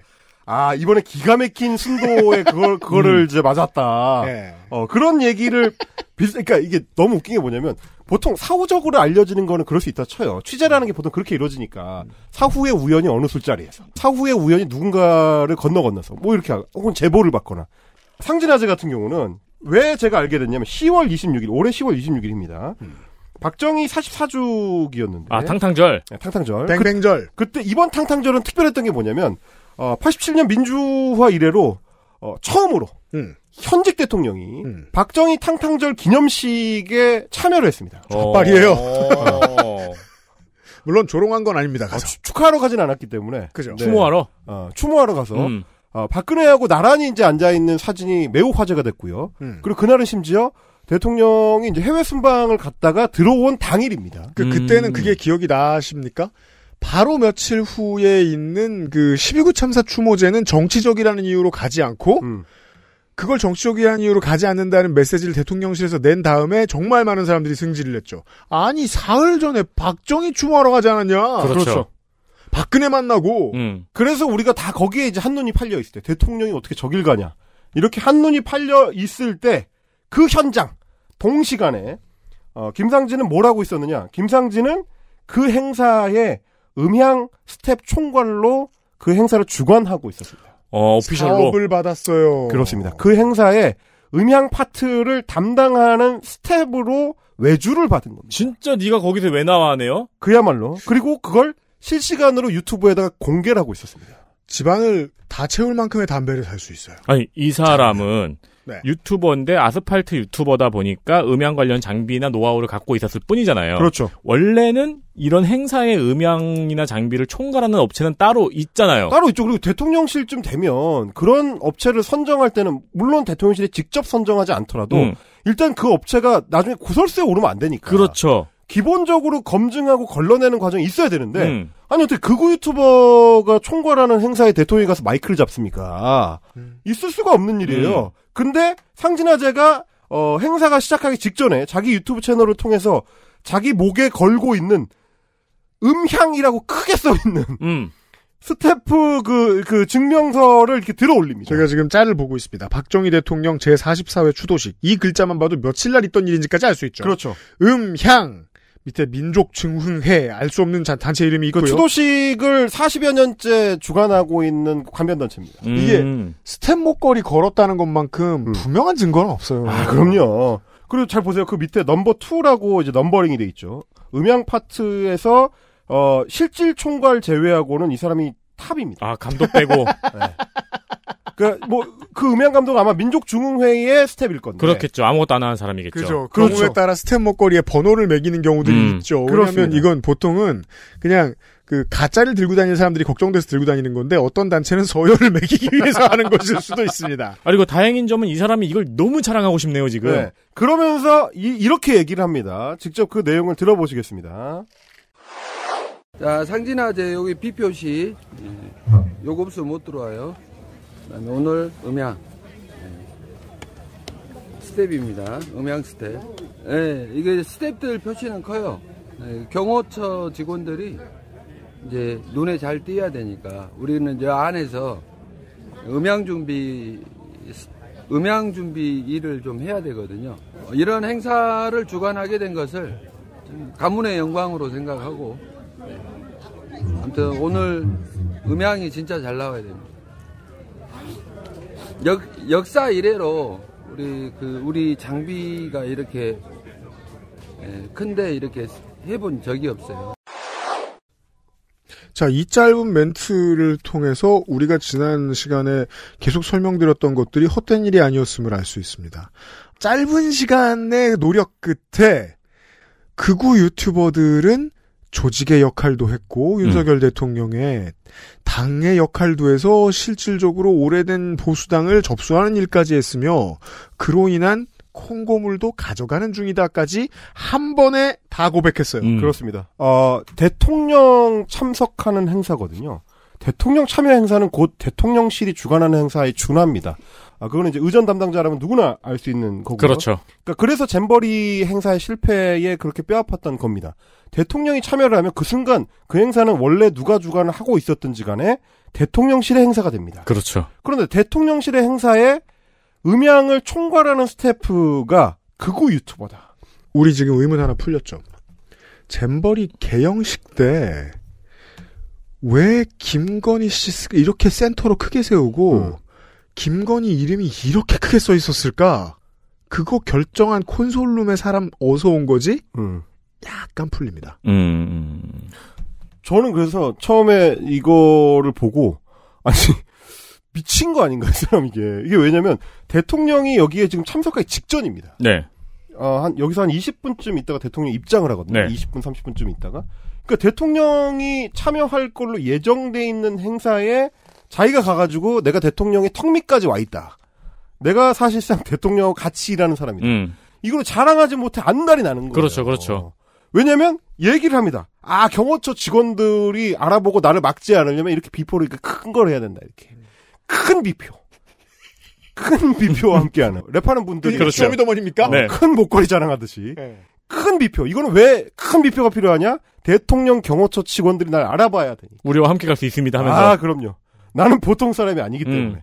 나는 이 현장에 참여할 수 있는 사람이기 때문에 이걸 이렇게 자랑을 해요. 그러면서 이것까지 오는 데 있었던 그 전에 행사들이 있었음을 암시합니다. 그렇죠. 그죠. 대통령이 참여하는 행사에 촌과를 맞는 거는 우리한테도 큰일이에요. 이렇게 큰 데에다가 우리 장비를 대본 적이 없다. 아. 그런데 그 전에 그럼 다른 대통령실 행사들, 대통령이 직접 오지 않는 행사거나 어, 유관 단체들이 하는 행사들에는 이 사람들이 참여를 했을까요, 안 했을까요? 간단한 문제죠. 그렇죠. 여기서 답은 이미 나와 있고요. 그렇습니다. 이미 경험이 있고 노하우가 쌓여 있는 상태이기 때문에 이 사람한테 대통령 주관 행사를 맡길 수가 있게 되는 겁니다. 이게. 되게 명확한 증거잖아요. 그러니까 조직 역할을 했던 유튜버들에게 계산은 착실히 되고 있다. 그렇죠. 이달 헬마우스 코너 주제에 대한 얘기를 처음에 이제 들으면서 제가 문득 생각났던 게 그거였어요. 자총 이야기 따라다니면서 보도했던 스트레이트 보도는 정말 중요한 역할을 했는데 음. 그것만 보면 왠지 이제까지 극우 유튜버들하고 별 관계 없던 윤석열 대통령이 neutral한 상태에서 그냥 극우 유튜브만 보다가 음. 시청자의 입장에서 저 사람 마음에 드네, 저 사람 마음에 드네 이래가지고 갑자기 지원을 해준 것처럼 오해할 수 있어요. 왜냐하면 그렇습니다. 방송 시간이 짧아서 그 긴 관계를 이야기 풀어놓을 자, 자리가 없었거든요. 음. 실태 보도도 바빴어요. 뉴스 음. 스트레이트는. 근데 본질은 이번 주에 우리가 지금 얘기한 거라는 겁니다. 정치를 시작할 때부터 파트너였다. 그렇죠. 그러니까 윤석열 대통령을 극우 유튜버에게 인도한 게 알고리즘이 아니었다는 거예요. 그렇죠. 심지어 스스로 갔다는 어. 쪽에 가까운 거고. 그러니까 내가 원래 알고 있음. 어, 그쵸. 우연히 찾은 게 아니라는 거. 검찰총장 때부터 시작된 커넥션이라는 거잖아요. 일종의 이제 파트너십이라는 얘기인 거고요. 음. 그리고 굉장히 사실은 노골적으로 하고 있지만 우리가 주목하지 않고 있다라는 얘기가 그렇다면 드립니다. 이게 쉬워집니다. 지금도 윤석열 일파와 지지자들 그리고 국민의힘은 불안하게 동거하고 있어요. 그렇습니다. 같은 당이 아닐 수 있어요. 자, 제가 왜 이 말씀을 드리냐면 이 사람이 이 경험이 처음이 아니라는 거고요. 음. 그리고 그거를 스스로 얘기합니다. 우리가 대통령실로부터 사실상 외주를 받는 일을 우연히 따낸 게 아니다라는 거를 지가 알아서 얘기를 하는데 자, 그구들이 이 행사에 총출동했고 내가 어떤 사람이다라는 걸 또 한번 강조를 합니다. 네. 들어보시죠. 이 정해진 자리에서만 저희가 촬영이 가능합니다. 원래 제가 여러 어, 행사장을 다녀봤지만은 원래 유튜브 촬영이 통상 금지되는데 오늘은 특별히 허가가 된 것 같아요. 어, 정해진 장소 안에서만. 그래서 지금 아침에 락TV님도 새벽에 오셔가지고 이제 락TV님도 옆에서 이제 준비를 하고 계시고 아까 보니까 홍철기 TV도 오셨더라고요. 뭐 고성국 박사님도 오시는 것 같고요. 지금 여기 들어오는 사람들 일단은 카메라나 삼각대 전부 다 제한받고 있는데 우리는 밤에 넣어놨어요. 이게 이게 경험인데 이게 분명히 또 경호 여기 그 경호처에서 이게 제한을 할 것이다 생각을 해서 어제 밤에 다 집어 넣어놨었습니다. 예. 밤에 다 집어 넣어놓고 여기 저기 여기는 이제 라이터도 못 갖고 들어와요. 집회 주최 어드밴티지를 어떻게 보면은 받고 있다고 봐야 되고 그것도 경험 없으면 못 받을 건데 예, 경험이 있어서 예, 미리 좀 준비를 해놨었습니다. 그냥 경륜이 있다라고 말하면 될 걸 참 느리는 재주 있어요. 저는 좀 사실 이 대목에서는 머리가 좀 띵했는데 여러 가지가 다 드러납니다. 일단 대통령실이 주관하는 주도하는 그러니까 대통령이 직접 참여하는 행사 같은 경우는 당연히 신분 확인이 엄청나게 중요합니다. 네. 근데 지금 온갖 극우 유튜버들이 이 행사에 다 들어옵니다. 지금. 그렇죠. 뭐 락TV니 뭐 고성국이니 홍철기 TV니 심지어 촬영 허가를 받고요. 그렇습니다. 유튜브 촬영 허가를 받은 사람들이 다 들어올 수 있게 이미 교류의 밀도가 우리 생각보다 훨씬 깊다. 음. 라는 게 하나가 있고 유튜브 촬영이 통상 금지가 된다라는 거는 원래도 이런 행사 많이 다녀본 거죠. 그렇죠. 그 그때는 항상 거부가 됐었는데 음. 심지어 이제는 오케이. 그리고 나 같은 경우는 뭐가 다르냐? 원래 이런 행사를 많이 가봤는데 경호처에서 보통 이런 거 못하게 한다. 카메라 못 갖고 들어오게 한다. 삼각대도 어, 통제한다. 근데 우리는 이걸 알고 있었기 때문에 대통령이 어저께 그러니까 대통령이 이 행사에 올 거라는 거를 다른 언론 매체들 모르고 있을 때 음. 우린 전날 이미 알고 있었기 때문에 우리는 주관 스텝이라서 미리 나 이 클럽의 VIP다. 어 여기다가 뭘 미리 다 넣어놨어 카메라고 삼각대고 다 음. 넣어놔서 음. 우리는 이 노하우의 바탕에서 이걸 다 지금 촬영하고 있는 거다 실시간으로 이걸 내보내고 있다 이런 얘기를 다 합니다 제가 이거 다시 한번 해석해 드릴게요. 가을에 그 초겨울에 요파시에서 이런 사연 소개해 드렸던 적 있어요. 우리 청취자분들 중 한 분이 국제공항에서 하노이에서 음. 에어포스 원 촬영하려고 폰 들었다가 그렇죠. 공항에서 끌려가죠. 그렇죠. 그렇죠. 신기해서 찍으려 했는데. 그 개 혼나죠. 그리고 어. 그 다음부터 이제 얌전하게 살려고 한참 대어들었죠. 음. 기본적으로 대통령이 등장하는 모든 일들은 함부로 미디어에 못 실어요. 웬만하면 그래요. 음. 공식 행사는 국가 안보의 문제입니다. 이거. 그렇죠. 자, 근데 내가 국가 안보 문제를 어느 정도 알고 있다는 자랑까지 오셨어요. 그건 우리가 쭉 드렸던 말씀이잖아요. 이 사람들은 인싸다, 사실상. 음. 그리고 가장 중요한 말은 근데 그 앞까지만 들으면 난 그냥 원래 이 클럽의 VIP라 맨날 왔다 갔다 해 자유이용권이 있어. 근데 음. 자유이용권이 있는 이유는 여러 가지일 수 있잖아요. 꼭 주최를 안 해도 되잖아요. 음. 여기 고백하죠. 집회 주최 advantage를 받고 있다고 봐야 되고 라고 말하면서 그동안의 경험이 주최를 해서 얻은 것임을 알 수 있게 되고 그렇죠. 음. 대통령실 행사의 주최라면 비용을 어느 정도 받아간다는 사실까지 모아놓고 보면 이 사람은 상당히 많은 reward를 행사 아, 당했음을 그럼요. 받았음을 네. 알수 있는 거예요. 굉장히 중요한 대목인 다 거죠. 고백했어. 네 그리고 이 고백하는 푼수 말고 고백 안 하고 있는 사람이 있을 거 아니에요, 지금 또. 그렇죠 그렇죠 네. 아, 분명히 있을 수가 있고 물론 음. 이제 김상진이 그 중에서도 규모가 가장 큰 아스팔트 대장 중에 한 명이긴 하지만 음.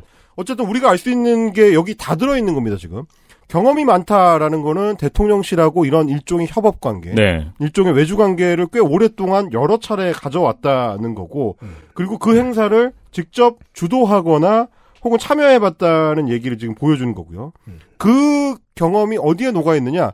이거는 이제 어, 자기 스텝한테 지시를 하는 대목에서 저는 이제 우연히 들었는데 굉장히 상세하게 동선 관련된 문제라든지 행사 진행과 관련된 문제. 그러니까 단순히 그냥 음향 장비를 다루는데 그치지 않는 네. 꽤 적극적으로 행사에 참여하는 모습도 이 유튜브 영상에서 보여집니다. 동선까지 말할 수 있는 사람이면 그냥 유튜브 하고 있으면 안 되고요. 음. 대통령실에서 행정관 해야 돼요.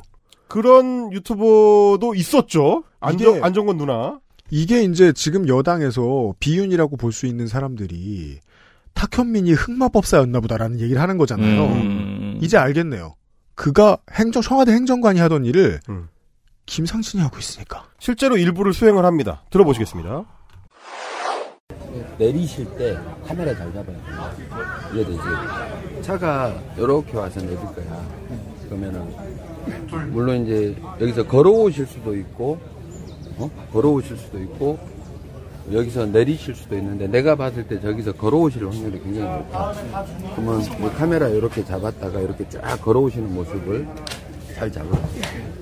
어, 앉으실 때 카메라 잘 잡아야 돼. 이해되지? 앉으실 때. 어, 두 개 다. 이게 굉장히 중요한 장면이야. 앉으실 때. 그리고 저 연단에서도 발언하실 때 앞에서 서 있으면은 반드시 앉혀. 사람이 앉혀. 물론 이제 경호처에서도 앉히겠지만은 저, 저기 그 저기 연단에서 연사 잡을 때 잘 잡아야 돼. 행사 중에 누가 서 있는데 앉혀라는 그렇죠. 지시를 행사 직전에 할 수 있는 사람은 그 행사에서 제일 센 사람이에요. 그렇습니다. 이거 이제 행사 진행의 총괄 스텝에 가까운 얘기들을 지금 하고 있는 거죠. 음. 그리고 뭐 이거는 그냥 카메라에 우연히 잡힌 그 스텝한테 지시하는 장면이지만 굉장히 이런 상황에 익숙하고 능숙하다는 거를 알 수가 있습니다. 결론만 말하면 이걸 외주를 주는 것도 국기문란입니다. 그뭐 이제 물론 이제 이게 이제 그 행사가 한 단계 거쳐 있는 거니까 네. 어떤 문제일지를 봐야 되겠지만 상세한 내용을 봐야 되겠지만 우리가 지금 주목해야 되는 거는 이 사람이 이거를 주도할 수 있는 자격이 있는 사람인가? 음. 외주 행사는 기술만 들어와야 돼요. 기술만. 그렇습니다. VIP가 와서 누구 저 내빈이 와서 서 있을지 앉았을지 어떻게 들어올지 이거에 대한 의견이 어디 있어요 이 사람들이. 그러니까 저는 이제 상당히 심각한 문제라고 보는 거고 대통령실이나 혹은 대통령실 유관 기관 기관하고 거래를 할 수 있는 어 사람이나 어떤 기관 뭐 업체 이런 것들은 검증 과정이 이렇게 헐렁하면 안 됩니다. 이런 사람이 어떻게 이 행사에 참여를 할 수가 있죠? 저는 그게 어 말씀하신 것처럼 일종의 국기문란일 수 이죠. 있다. 이 가능한 일인가? 네. 이게 어떻게 걸러지지 않고 그리고 심지어 그거를 두 번 걸러지지 않아가지고 방송에 노출이 돼가지고 저 같은 사람이 그냥 유튜버에서 볼 수 있느냐? 음. 이 모든 게 다 말이 안 됩니다 지금. 하지만 높은 확률로 윤석열 대통령 본인 혹은 그 가장 가까운 사람들의 생각은 정 반대죠. 내가 다 알아본 거야. 믿을 수 있는 사람들이야. 진심입니다 그게. 어, 그게 진심일 음. 거예요. 근데 이런 아마추어들, 이런 어떤 개념 없는 사람들한테 일을 맡기면 어떻게 되느냐? 저희가 지금 음성으로만 들려드렸지만 이 카메라들이 아직 시기 시작되기 전에 현장들을 쭉 훑습니다. 자기 그 지지자들이 계속 영상을 시청하고 있기 때문에 시- 실시간 라이브거든요. 야. 프리쇼, 프리쇼합니다. 네. 보여줘요. 저, 여기가 어디고 연사가 어디서 있고 이, 이게 지금 다 중계가 돼요. 야, 그러면 어디선가 스나이퍼는 그것만 보고 있으면 되네요? 생각을 해보세요. 이게 말이 됩니까, 지금? 그 당시, 그니까 이 사람이 생방송을 하고 있던 시점에는 이제 겨우 대통령이 도착해가지고 이동하고 있는 도중입니다. 음. 공항에 도착해서, 성남공항에 도착해서 이동하고 있던 도중이에요. 이게 어떻게 생중계를 통해서 유튜브로 중계가 됩니까? 북한 저격수는 1km밖에 자리 잡고 앉아가지고 이것만 보고 있으면 돼요. 건너편 경호팀 저격수가 본부에다 얘기합니다. 저기 sniper가 있는데요. 저 새끼 행사장 안 보는데요? 그, 어, 그럼 둬. 유튜브 보고 있어요. 아마 무빙을 보고 있는 것 같습니다. 가능합니다. 그렇죠. 그 이제 물론 우리가 이제 그동안 계속 그 언론 보도를 통해서 접해왔던 것처럼 이 정부가 대통령실 발로 나가는 그 수많은 외주 계약들, 음. 엄청난 액수의 예산 집행 과정에서 있을 문제점들이 상당할 거라는 거는 다 예상이 됩니다. 아마 이제 정상적으로 정부 인계를 하게 되면 그게 다 대통령 어, 기록물로 지정이 돼가지고 30년 동안 묶어놓는 방식으로 이제 작동이 되겠죠. 그죠. 하지만 그거 정말 싫어하죠, 이 사람. 네. 그렇습니다. 그 전에 특검이 발동이 되거나 음. 아, 혹은 이제 하야에 준하는 어떤 비상사태가 발생을 할 경우에 드러나게 될 많은 문제들 음. 그 중에 김상진과 그 일당들을 스텝으로 고용한 문제들이 들어있을 거라고 저는 확신을 합니다. 음. 자, 이게 우리밖에 얘기 안 했다고 작은 일이 아닌 거는 지금 들으셨으면 아실 거예요. 그렇습니다. 이거는 매우 심각한 맞아요. 문제고요. 커집니다. 이게, 커집니다. 이게 이 일이 어떻게 여기에 이를 수 있었는지를 검증해 볼 필요가 있습니다. 이건 단순히 중간에 뭐 민족 중의인지 하는 단체가 끼어 있다고 해서 해소될 수 있는 문제가 아닙니다. 음. 말씀드렸듯이 대통령이 참여하는 행사는 대통령실 주관 행사라는 거. 음. 따라서 대통령실 안에 문을 열어주고 호응하는 사람은 반드시 존재해야 자, 합니다. 협력자가 있다라는 거를 혹은 지시를 받고 협력을 해야만 하는 담당자가 있다. 광고를 듣고 와서 최종 등장인물을 만나보시겠습니다. 어, 뭐 남았어요, 누가? XSFM입니다.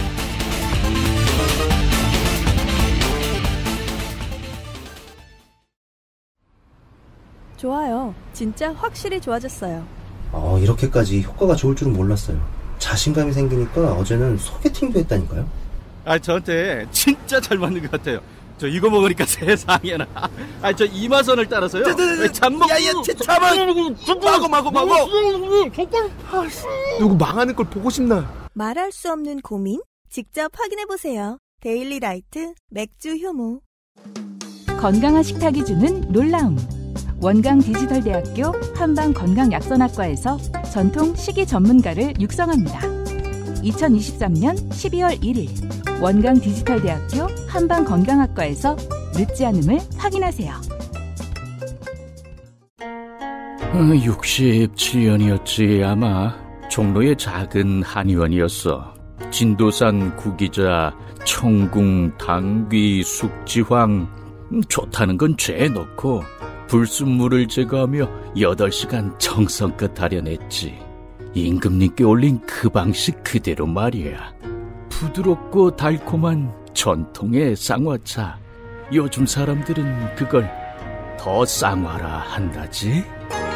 현대인에 맞춘 프리미엄 한방차. 더 쌍화. 액세스몰에서 덧쌍화를 사실 날씨입니다. 임금님께 진상했던 전통의 방식을 구현하고 맛은 현대인의 입맛에 맞게 적절히 조절했습니다. 비싸더라도 기후, 토질 등 환경을 고려해서 약효가 제대로 담긴 최고의 재료만 엄선을 했어요. 제작비는 많이 들어요. 네, 이 쌍화차의 노하우가 아주 많은 업체거든요. 찬바람 불 때마다 생각난다는 고객들의 후기. 이제 당분간은 찬바람밖에 없어요. 덧쌍화 한 잔으로 삶의 여유를 가질 수 있습니다. 제가 대구 종로와 서울 종로에서 쌍화차를 마셔본 사람으로서 차이가 없습니다. 아, 그렇습니다. 리뷰를 확인하시기 바라고. 덧쌍화는 액세스몰에 있습니다.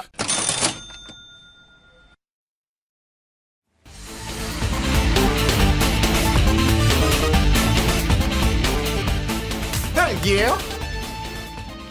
2023년 마지막 헬마우스 코너. 2024년에 매우 중요할 것 같은 얘기를 해드린다는 거 알겠죠? 헬마우스와 저 헬마우스의 주변 인사들이 아주 안타까워하는 일이 있었습니다. 분명히 헬마우스 주변 사람들 발로 나온 이야기인데 네. 전국적으로 이슈가 된 다음에 어, 사장 남촌동이 이야기되질 않았어요. 아 그런 일 그런 일 꽤 있죠. 대표적인 게 올해 김기현발 서울 확장론. 음. 김기현 순수비 시즌. 음. 아 네네네. 예, 체리 따봉 모양의 서울지도. 아, 내가 그거 사진 찍었어야 되는데. 이거 사장 남촌동에서 처음 나왔습니다. 아, 네. 어, 저희 PD가 사진 합성해가면서 열심히 만들었는데 음, 음. 그 펜코 애들이 퍼가가지고 음. 우리 청취자요. 예, 음. 우리, 저 사장 남천도 로고만 떼고 지들끼리 돌리는 바람에 음, 음. 아, 정치권에서까지 회자가 됐지만 자, 이 사장 남촌동 말고 체리 따봉. 아, 체리 이 따봉. 체리 따봉 이모티콘 때문에 처음 세상에 알려진 이름이 있습니다. 아 그렇습니다. 아, 강기훈이라는 이름인데요. 네. 이것도 사실은 그 강기훈이라는 이름이 처음 알려지고 회자가 될 때만 하더라도 legacy 미디어는커녕 그 헬마우스라는 유튜브 채널에서도 주목할 필요가 없는 존재였습니다. 음. 너무 미미했거든요. 어, 저희가 뭐 헬마우스 채널 운영할 때는 주로 미미한 애들을 대상으로 했는데 그 중에서도 너무 미미해서 그렇습니다. 주목할 필요도 없는 존재였습니다. 근데 그 강기훈이 나중에 이제 언제 문제가 되느냐? 강기훈 대통령실 기획비서관실 행정관. 음. 이게 누구냐? 극우 정당이었던 자유새벽당 대표 출신이고요. 자유의 새벽당. 아, 이게 이제 성가병의 눈이 번쩍 뜨입니다. 이른바 아, 2010년대에 많이 나왔던 젊은 사람들 간판으로 내밀어서 창당했던 대안우파 당들 중 하나입니다. 그렇습니다. 이 높은 확률로 아마 그리스의 새벽당을 참고했을 걸로 보이는. 그렇습니다. 네, 그 자유의 새벽당 출신이고요. 어, 4.15 총선에 대한 음모론을 제기하는 게 이 정당의 존재 이유기도 했습니다. 역사적으로는 우리 그때 통과비하고 짚었었는데 국내에 최초로 표방된 본격 Trumpy 정당. 아 그렇죠. 왜냐하면 슬로건이 Korea First였어요. 뭐 이민 반대 이런 거. 네. 어, 어, 그런 거 하고. 그리고 그게 이제 호응을 얻기 어려우니까 예, 극우 유튜브 채널을 만들어가지고 검은 우산 시위 뭐 이런 거 주도를 했습니다. 아, 그건 또 홍콩의 노- 홍콩 시위를 따라한 거네요. 노란, 노란 우산 집회를 네, 가져와가지고 검은 우산이라고 하면서 4.15 총선 음모론을 이제 퍼뜨리는 음, 우리는 뭐 최루탄도 안 쓰는데 젊은 사람들이 할 짓 다 했어요. 네, 그런 거 했었던 사람이 나중에 보니까 그 뒤에는 완전히 잊혀졌다가 나중에 언제 등장하느냐 체리따봉 사태 당시에 네. 권성동 원내대표가 문자를 보내는데 체리따봉을 받고 문자를 보내는데 그 밑에 이 강기훈과 함께라고 입력 중인 그 텍스트가 보입니다. 그러니까 이그 가장 유명한 그 짤 있잖아요. 저 음. 윤석열의 문자.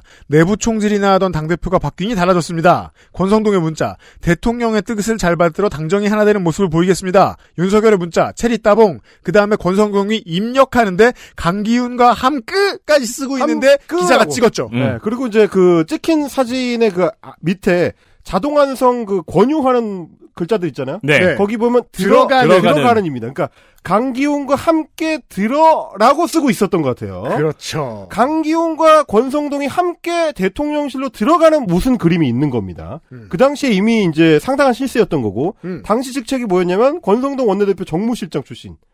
이었습니다. 음. 그래서 대통령실에 들어가가지고 기획비서관실에 행정관을 했고요. 음. 어, 그러다가 체리따봉 문자에 이제 드러나면서 이 사람이 그동안 뭐 했었는지가 드러나는데. 그렇죠. 대선 캠프에서는 2030 자문그룹의 핵심 역할을 해가지고. 한 줄 메시지 공약. 소위 말하는 페이스북 한 줄 메시지 공약. 아, 그거. 주적은 북한. 여가부 폐지. 주도했다고 어. 알려집니다. 멸콩. 아, 그리고 이제 제가 별도로 취재한 바에 따르면 대통령실의 젊은 행정관들 중에서 탑급의 실세로 꼽힙니다. 자, 그렇다면 이 사람은 그냥 보통 그동안 윤석열을 열심히 도와주었던 유튜버들하고는 좀 다른 게 레벨이 다릅니다. 입이 무거워요. 네. 그리고 입이 상당히 무거워. 그러니까 본인이 어디서 뭐 하는지를 남에 의해서 드러나기 전까지는 잘 감추고 있었던 건데. 네. 왜냐면 드러- 자기 채널이 없으니까. 드러나고 나서 취재해 보니까 탑급의 실세라는 게 단순한 얘기가 아니고 대통령에게 직보하고 실제로 대통령의 결정을 바꿀 수 있는 수준의 실세입니다. 어. 그 대표적으로 대통령실에 들어가서 했었던 일 중에 하나가 뭐냐면 도어 스태핑의 전면 중단을 건의하고 실제 시행했던 인물입니다. 이 사람인가요? 네, 그거는 이제 별도 취재원을 통해서 저도 이제 얘기를 들었는데 음. 만약에 그랬다면 지금 정말 신임을 받고 있겠어요. 그만큼 그때 이후로 신임 그만큼 받았겠어요. 대통령의 이제 상당한 신임을 받고 있는 인물이고 음. 말하자면 이제 대통령 입장에서는 대통령이 그런 거 좋아하잖아요. 아, 큰 무당 좋아하지 않습니까? 큰 무당. 음. 그 말대로 하면 된다. 그래서 이제 대통령의 가장 큰 무당이 이제 김건희 여사라면 그렇죠. 아, 두 번째 무당 정도가 이제 젊은 강기훈이 있을 때 왜냐면 기훈이 말 들었는데 내가 대통령이 됐어. 어. 기훈이 말 들었더니 다 망하고 있었는데 도어 스태핑 안 해가지고 좀 살아났어. 네. 뭐 이런 거기 때문에 큰 무당으로 대접을 받다가 네. 김태우 강서구청장 후보의 사면 및 공천을 반대했다가 날라갔었습니다. 좌천됐다가 음. 김태우가 보궐선거를 개 말아먹고 나서 다시 복권돼서 그렇죠. 아니, 그, 거, 거, 거기서 그걸 반대했던 것도 그렇죠. 굉장히 현명한. 그러니까 정무적 판단이 상당히 우수한 걸로 대통령실 내에서 이제 평가가 됩니다. 예, 예, 그쵸. 그 강기훈의 중요 역할 중 하나로 의심받는 게 음. 극우 유튜버 관리. 와. 자, 의심까지는 있을 수 있어요. 그러면 취재는 임경빈이 했었어야 되는 거예요. 이걸 꿰기 아, 그렇죠. 위해서. 음. 네. 어, 뭐 저도 사실 그런 의심이 있는 줄을 몰랐습니다.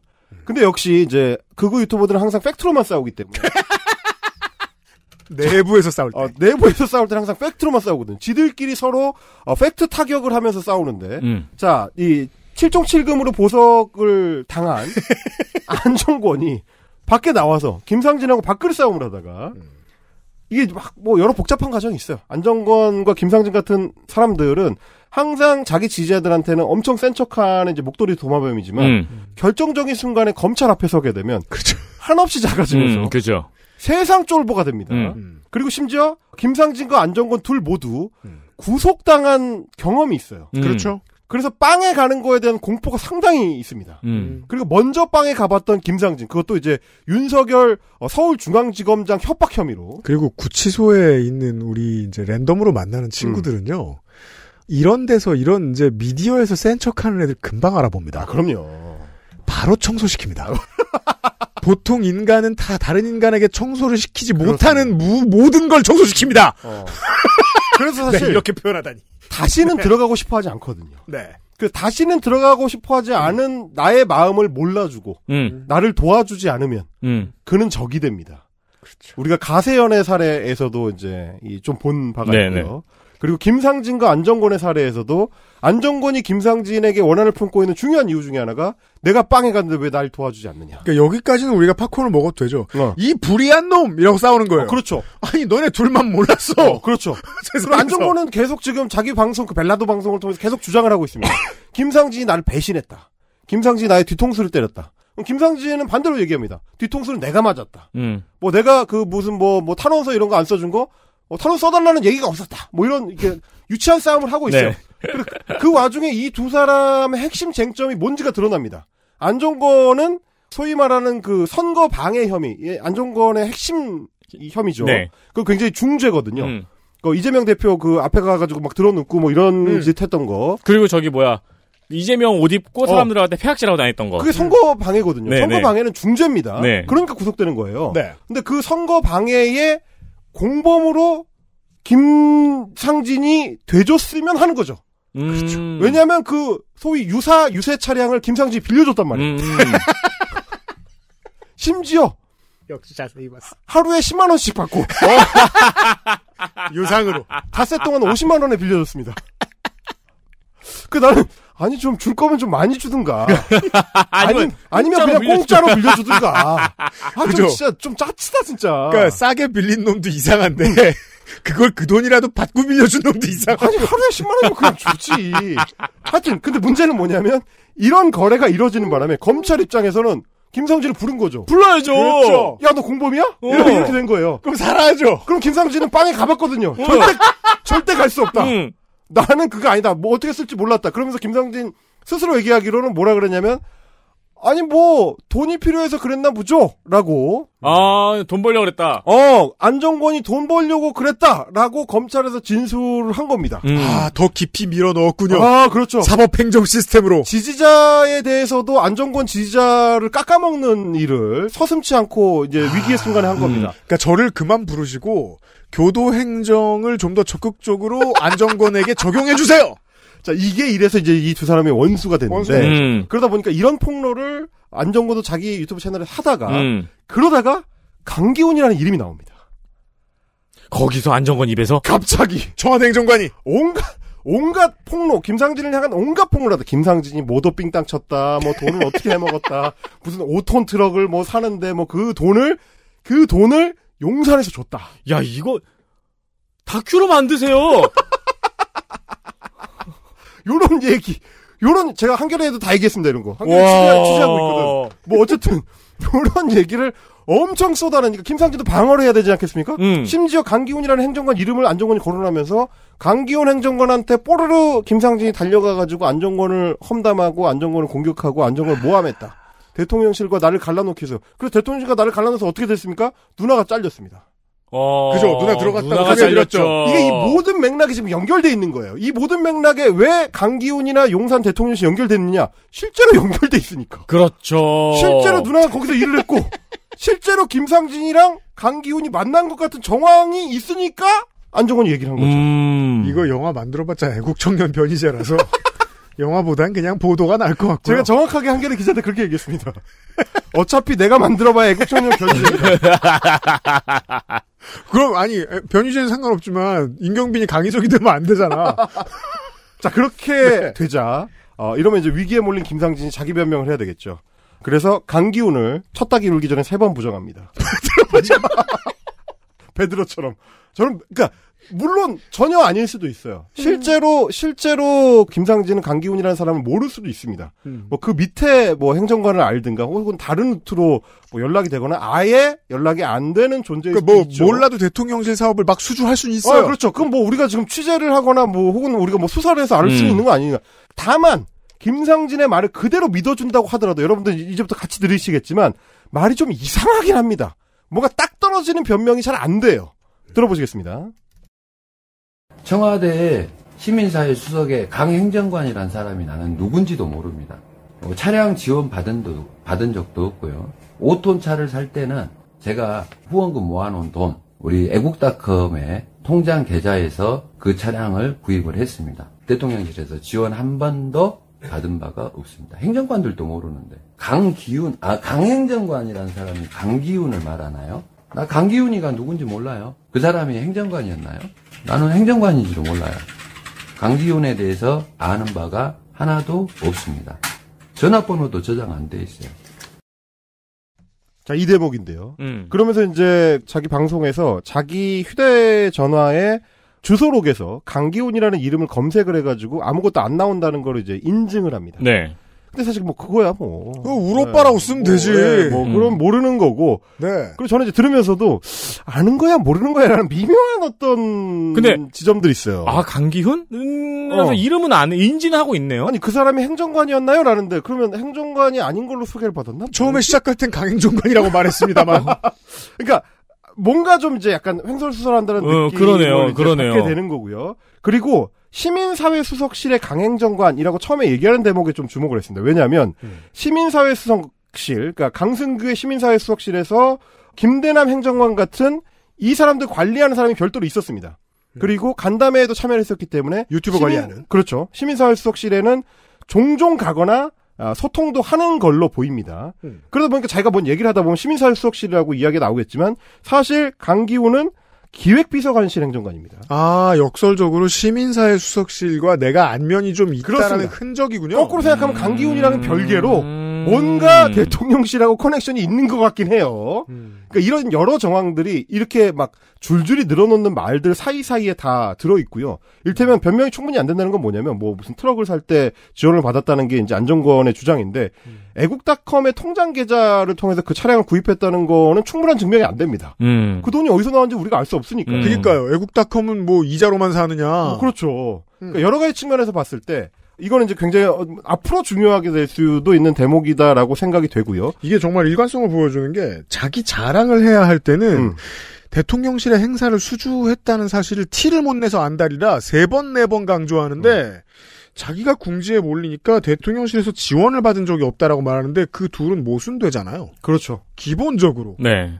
그러니까 이게 이제 좀 최종적으로 쭉 정리를 하게 말씀드리자면 지금 굉장히 이상한 상황입니다. 이 모든 게 한번 차분히 생각을 해보면 다 이상해요. 아니 강승규 시민사회 수석 이거 대통령실 수석 비서관입니다. 차관급에 이런 사람이 어디에 누군지도 모르겠는 웬 유튜버랑 맨날 통화를 하면서 뭐 이거 해주세요 저거 해주세요 여러분이 그걸 좀 책임을 져주셔야 돼요 이런 얘기하다가 녹취당해가지고 그게 폭로가 되고요.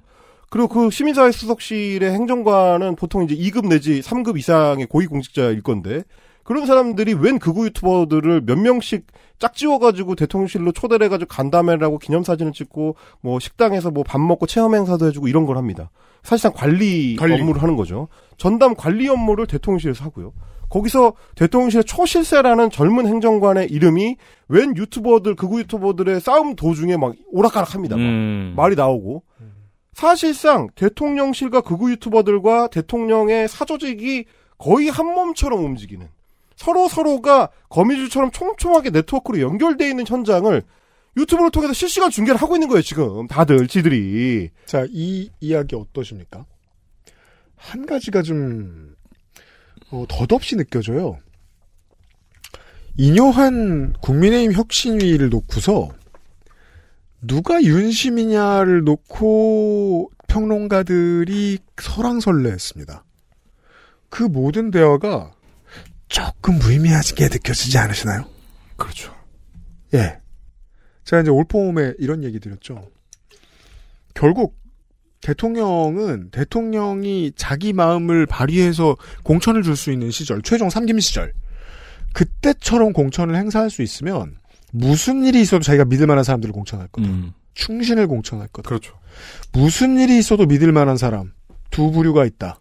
아스팔트와 검사. 음. 그쪽은 내부 투쟁을 하고 있을 것이라는 말씀을 드린 적이 있습니다. 음. 검사 얘기는 위에서 많이 해요. 아스팔트 얘기 이렇게 자세히 얘기해드린 적 없어요. 이게 이제 아스팔트 위로 뿌리를 제대로 내리지 못한 그 잡초의 뿌리가 음. 가늘게 이어지는 장면을 지금 보고 있는 것 같은 느낌이에요. 네, 어느 따스한 봄날에 저거 금방 죽겠네. 그렇습니다. 담쟁이 덩프처럼 그렇게 옆으로 가늘고 흰 뿌리가 드러나 있는 네. 모습을 보는 것 같은데 이게 결국은 정치라는 전문성의 영역에 아무런 전문성이 없고 에, 누적된 경험치가 없는 사람이 들어와서 극우 포퓰리즘으로 갑자기 집권했을 때 생길 수 있는 온갖 부작용들이 단기간 안에 다 터져 나온다는 느낌을 저는 받게 되는 거고요. 음. 그러니까 그가 뿌리가 없는 사람이기 때문에 그렇습니다. 정당 정치에 있어서 기본적으로 갖춰야 되는 아래로 내려간 뿌리가 있었더라면 저기에 저렇게까지 의지할 필요가 없는 건데 네. 급조된 뿌리를 가지고 뭐라도 해보려고 하니까 옆으로 가늘게 늘어서는 뿌리만 지금 붙들고 있는 형국인 거고요. 그렇기 때문에 어, 다음 선거들에서는 적어도 정당 정치에 기반한 정치 전문가들이 정치를 할 수 있도록 유권자들이 이제 눈을 똑바로 뜨고 있어야 된다라는 생각을 좀 하게 됩니다. 극우 기술자들이 대통령을 만들 수 있었던 시대를 좀 한 번으로 그칠 수 있게 끝내줘야지만 이 꼴을 우리가 더 보지 않을 수 있다. 왜냐면 적어도 황교안이 잠깐 황교안도 뿌리가 없는 인물이었기 때문에 더 그런 거지만 잠깐 그 극우 유튜버들하고 현혹됐었지만 개 망할 것 같으면 결국 그 정당이 정신을 차리고 좀 다음 스텝을 준비하듯이 그럴 수 있으려면 뿌리는 있어야 된다. 그 말씀을 좀 드리고 싶습니다. 오, 드디어 이 문장을 완성시킬 수 있게 됐습니다. 머리는 이명박, 심장은 박근혜. 현실 정치는 황교안이었어요. 어. 황교안의 2차 시기로 성공된 게 윤석열이었는지도 모르겠습니다. 황교안은 선 넘네? 라는 순간을 알았을 것 같아요. 음. 근데 지금 청와대 용산이죠. 대통령실은 모르는 것 같아요. 네. 몰라서 승리했고요. 음. 그래서 우리가 지난주에 애정 큰 시간에 드렸던 말씀이 이렇게 완성되는 것 같습니다. 자, 선거제 이야기를 하면서 이런 말씀을 드렸죠. 많은 정당들이 들어설 수 있으면 지금 선거제 논의할 때 우리나라의 언론인들이 제일 얘기 안 하는 게 극우정당과 허경영이 들어온다는 거라고요. 그렇죠. 누구나 들어올 수 있던 형태의 선거제에서 갑자기 극우정당이 1위를 냈다. 만년 꼴찌가. 음. 한국은 그럴 수 없다. 양당제가 고착화돼 있으니까. 그래서 어떻게 했냐? 어떤 연가시가 양당 중 하나를 접수한 것 같다. 그렇죠. 오늘 완성했습니다. 음. 2023년에도 헬마우스 코너를 사랑해 주셔서 감사합니다.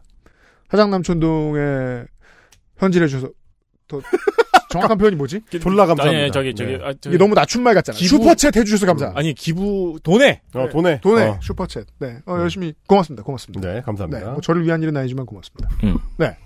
아, 헬마우스님과 함께 물러갑니다. 다음 주에는 지난주에 예고해드렸던 대로 북소장하고 무서운 얘기를 할 거고요.